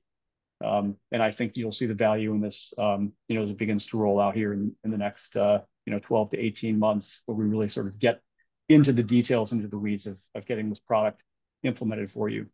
Um, and in the cloud, you know, a couple things were brought up about uh, cloud security. Obviously, we're hosted in AWS. We offer a, um, a, service level agreement in our contract that provides protection for all of our customers for things like uptime and uh, data security. Um, we always publish our reports for customers for all of our audits uh, for uh, our cloud hosting. Um, all of that will be in, information that's available to you at any time. We back up everything to our cloud nightly, so all of our customers are protected in that regard. And it's being in AWS does have multiple locations. So from a cloud perspective, um, you're in the top of the line uh, in terms of, of uh, your data security and your information security, which is critical, uh, particularly when you're dealing with uh, human resource information. Um, so my hope is that. yes, please go ahead. On the so, so I see here three hundred and sixty-five thousand in year three for the SaaS fee. Is that the on, will that be every year plus some percentage going forward? So that's the kind of baseline fee. And that, that includes AWS as well as your guys' fees? Or is there an, is? That all in? It's, Okay. Yep, that, that's all in. So that, the annual SaaS fee includes your licensing, your maintenance, all of your support. So, um, and by the way, any future enhancement we make to the product um, and uh, and or to the technology that is running behind the product is all included in that. So you're never going to pay for another upgrade. You're never going to pay for an enhancement to the software. Um, you'll have round the clock support on your product. not only support for the product itself, staffed by people in the US who understand the products that, that your staff are working with, many of whom probably implemented those products, but also a separate support line for our hosting center. So if you ever have an issue, if John Johnson ever has an issue trying to access the system or an NID employee can't seem to get in, there's a direct line right to the technical side of the house that is not focused on the, the functional side. Uh, th- those are two separate um, areas of support. Um, and uh, your perpetual licensing. So yes, everything is included, and we're taking care of all the hardware and database refresh for you as well. So you never have to worry about um, you know trying to migrate the servers. We'll we do all that uh, full stop for for every element of the, the, the hosting going forward. And then we also uh, to answer the other part there about the the lift, we're keeping this rate um, the same. We're phasing it in as I mentioned, and then um, that's for the initial three year term. Beyond that, we've committed to only increase those amounts by a small amount in years four and five. And we put that all into the contract, again, to offer some predictability for the district. Appreciate that. So the, only last question that I have to tie a bow on this one. So the three sixty-five plus whatever percentage you guys agree for years four and five, uh, that's new money to the budget? Or is, is some of that being spent today that's kind of recovered? Like, is, is there already hundred and fifty thousand going into the budget for SaaS that gets thrown away and now we're doing three sixty-five? Or is it all new Year money? four and five, it will be new. We'll have to add that to the budget. This is, the one point seven million is for the next three years. I know, but what I'm saying is your ongoing IT costs today, there's not an ERP component to that outside of this. Well, there's a small component associated with Central Square. What, what's that amount? Like, I'm, I'm trying I to think figure it's out, like- is there an offset that we're? A little bit of offset, but Central Not Square, much. not that much. What is Central Square, one twenty? Yes. hundred and twenty K. I, I, it's between eighty and hundred and twenty from my memory. Ongoing, we could say it's like three hundred K or two hundred and thirty K extra money every year, ongoing fee. I would say, that's about right. Like quarter, month. okay, got it. Thank you. That was all I have. That's including CMS too. Yeah. comment about, uh, the paying more for less. We haven't talked about, or accounted for what's happened in our economy the past four years either, the inflation stuff. You know, maybe, maybe Colin could answer that question, but I, I suspect that's part of the, you know, everything's gone up, Well, the, I would not attribute the, the costs in our proposals to inflation. Um, you know, we, we manage costs pretty closely. Obviously, we're a public company, so all, all of that is public information. Um, but, uh, you know, in, inflation has not, um, been a factor when it comes to how we price this for NID. Now, what, So, uh, sometimes we get questions, oh, well, will you guarantee your price for ten years? In those cases, obviously, you know, no organization would do that because you don't know what cost structures are going to be like ten years from now. But we are off, you know, that's why we, we look at three-year terms initially, and then we try to cap years four and five, just to provide some financial relief for our customers in the near term, uh, to a, to a reasonable, uh, reasonable time period that's, that's predictable. Uh, there is one small, uh, adjustment on the resolution, the fifth whereas, that number is not three nine three four six one. It is, should be read three nine three zero three one.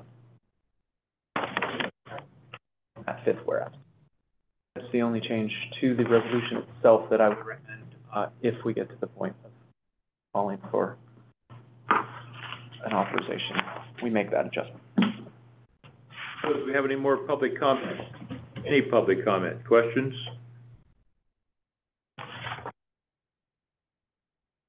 So public comment is closed. Directors, any questions? Motion? I'll make a motion.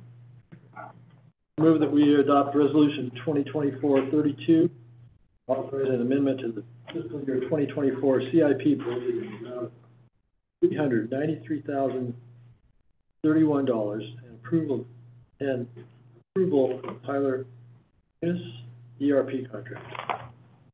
A second. Second. Roll call, please. Division two, Aye. division three, Aye. Division four, Aye. division five, I'm sorry, division one? I was on a roll. Yes. Division five. Yes. Thank you, board. Thank you, everybody. Appreciate the background. Boy, Colin, thank you. Yes. Thank you, NID team. Much appreciated. Look forward to getting started.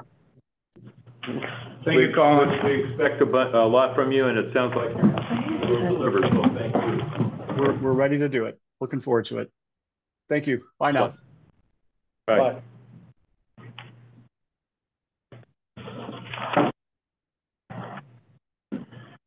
So, power through? Yes, please. Okay. So we're five C, and it's the contract and budget amendment for the Deer Creek Powerhouse. This should be a fairly quick item. As the board is aware, we took ownership of the Deer Creek Powerhouse in about the January timeframe after the 2024 budget was already completed. This is a capital project that's required for the powerhouse. It's to replace the existing exciter that's, I think, vintage 1970s. Don't ask me, I'm not a huge electrical person, but it apparently regulates current in some manner. There you go. Um, so we, yeah, we are requesting authorization to award a contract as well as, um, create a new capital project. Any questions? Questions? One, Yeah. how are we doing on hiring a director? Awesome. As, you're taking away my general manager report. Oh, well, it is, I mean, it's Yeah. hydroelectric. I'll give you a sneak peek of what I was gonna say later, but, um, yeah, we have somebody who is accepted, and we'll announce the name as soon as he clears background. Yeah. And we're very excited. He's gonna be amazing. Yay. Yeah, Oh, we got all kinds of yeah, really good. Yeah. Uh, Chris, Ricky, questions? No question. No questions. Karen? Nope, good. All good. I have. So we're approving a balance and then you're reducing the Chicago Park by hundred and fifty thousand, but the consulting agreement, what, Not sure what you're talking about. that's, well, the third part of the, uh, resolution. Consulting agreement to, uh, GS GS Engineering. Can we explain more what they do? Engineering, design, and integration services. Yeah, it's a piece of equipment. We, saw a lot of times, th- these are more kind of design build type projects. Mm, Tanya could speak a little bit more to it. Is that correct, Tanya? Yes, that's, it's trying to be Herrera down in, uh, engineering here. Um, that is correct, Jennifer. So the consultant will be tasked with designing the exciter to be ordered through Basler. And then the integration part. We're spending hundred and fifty thousand on it, but ninety thousand more for consulting. And that's pretty normal. Electrical type of projects like this, or um, kind of electrical equipment, they, it usually is a much higher percent, design is a much higher percentage than the purchase of the equipment itself, than like a normal construction project. I'd like to note the amount that actually for the equipment is just the down payment for it. Oh. Oh, Oh, really?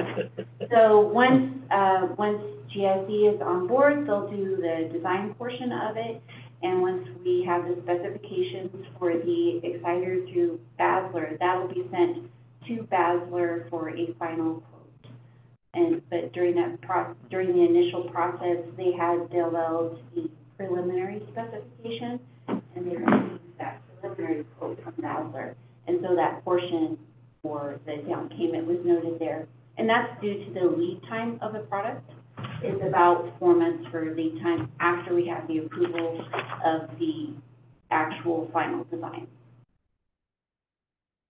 Do you have a sense of how much the cost is, the final cost is gonna be? If this is just a down payment?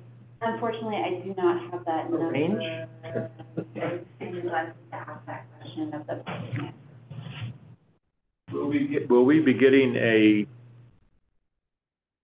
more of an overview of the whole oper- the whole Deer Creek Powerhouse than just this one piece of equipment?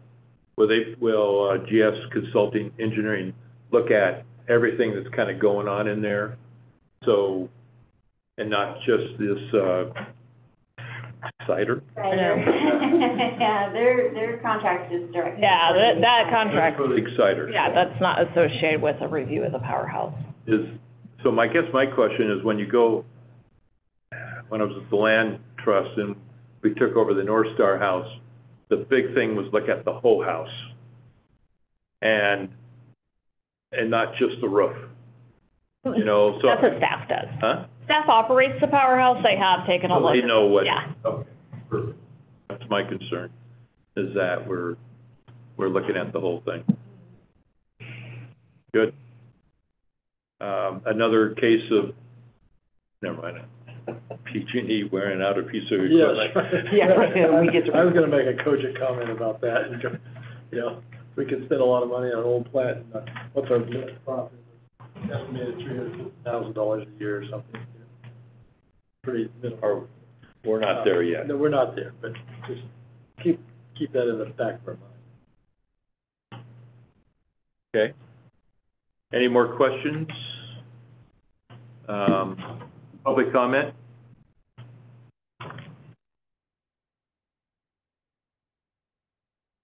Uh, I, public comment is closed, so what is the payback period on this? How many years will we pay off this new piece of equipment? Uh, probably about one year. The powerhouse actually does really well. Yeah. I mean, we've only ran it for a short period of time, but, yeah. The yeah. Water has been ready. Started. Right. All right, uh, do we have a motion? Well, okay, I will move, approval of the twenty twenty-four Fund Five Capital Budget Amendment to fund a new capital project, Deer Creek Powerhouse Excitation Upgrade, project number two-three-nine-five, and authorize general manager to execute. Roll call, please. Aye. Aye? Aye. Yes, Yes. All right, so we go to five D, which is, uh, contract and budget amendment for the Orr Creek siphon replacement. That's Combie Ophir two and three. Yeah, this one should also be fairly quick. So the um, current 2024 budget does include this project in it. We did put the project out to bid. The bids came back in higher. So we are requesting authorization to increase the budget for the already approved capital project, as well as award a construction contract um, to C and D contractors. The, we will not require an additional transfer from Fund 10 to Fund 15 because we do have some cost savings associated with uh, previous project, which has not been able to move forward as fast, and that is implementation of the charging stations. Um, And that is, the delay is simply due to a lot of the interconnection issues with the current grid. Public comment?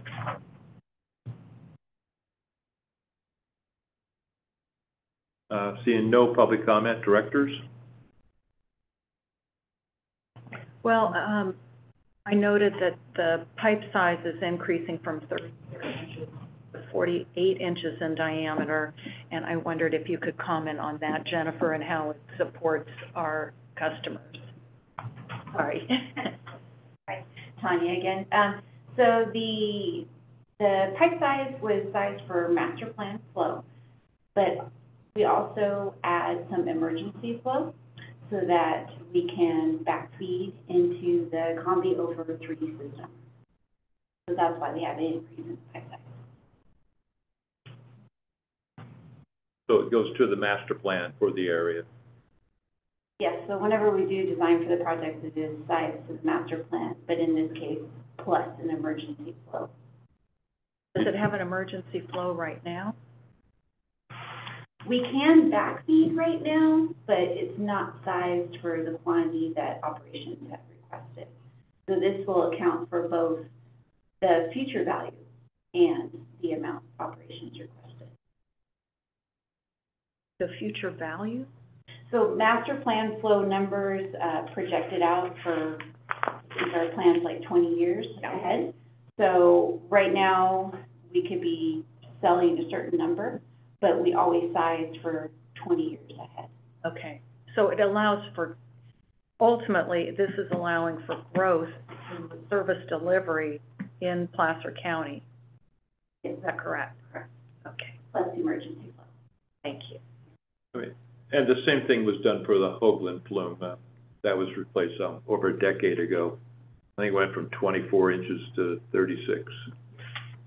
Just for the, all the farmers out in Penn Valley, thank you. Um, Any questions, Trevor? I just want to comment, it's great to see C and D, a local contractor, getting the bid. Yes. Yes, it is. They do great work. All right, uh, no public comment and roll call, please. We have a motion? No. Oh, Better get one, huh? Better get a motion. Jennifer wanted to move this on fast, so we were. I'll we have make a motion. Um, I'll make a motion to approve twenty twenty-four Fund fifteen Water Capital Budget Amendment, inter-fund, inter-transfer of funds from project number twenty-six eighty-nine to project number twenty-six forty-five, award of construction contract with C and D contractors for construction of the Orr Creek siphon replacement, a component of the Combie Ophir two and three siphon replacement project. I'll second that. Excellent. Roll call, please. Division two, Aye. division three, Aye? division four, Aye. division one, Yes. division five. Yes. All right. General Manager's report. Director Calder stole my thunder with asking my question. Just wondering if we had somebody to direct the team. We do, and he's gonna be great. So we do anticipate probably October first start date, um, and we will make the announcement as soon as all the background is done, and he's notified his current employer. And that's all we really have for right now. Oh, directors. No report. My report is that I had COVID for two weeks. So I didn't do a lot other than laying on the couch. Here we go. Karen? I uh, was able to do a tour of the Pines Water Treatment Plant as well as the Combie Reservoir, and I want to acknowledge the, uh, this was with the uh, LOP Lakes and Parks Committee, and Justin, Kobe, and Steve from NID provided the tour, and they were exceptional. Really answered a lot of questions, clarified the flow of the water. Um, our, our LOP water treatment plant is very impressive, and, um, the Lakes and Parks Committee really appreciated the staff's time. And I also separately want to acknowledge, uh, Aaron, who manages part of the Placer County, uh, canal system, and Frank, who manages both, uh, Placer and part of, uh, South Nevada County water systems. They, they've been very responsive, um, in answering questions and providing service to customers and troubleshooting. And, you know, it just goes, once again, our, those water system operators go above and beyond to provide excellent customer service. And it's so apparent in the, their caring and, um, commitment to service is so apparent in how they interface. Really appreciate that. Nothing for me. Um, I want to shout out to, uh, well, Chris and Susan Lauer, and also I think Jennifer had a lot to do. So, and Pasquale at YubaNet, this is, um, Plan for Water final technical memorandum is released. But the notice itself is significant in the sense that it really hits the high points of what the plan for water was and what the issues are. So I, I just recommend, Pasquale, if you could keep that up on, or get it, you know, closer when we look at it next month. Um, this is a, a very valuable document in itself, so thank you. And, um, because this is what the other document looks like and the full document and try to make sense of it, you know, I mean, there's so much data and technical information. Um, it's incredible to have the backup, but, you know, we need to look at the big picture too, and what works, what doesn't. Uh, so, anyway, thank you for doing that. Also, um, yeah, there's other things going on, but, uh, it's all good. So, uh, we're adjourned.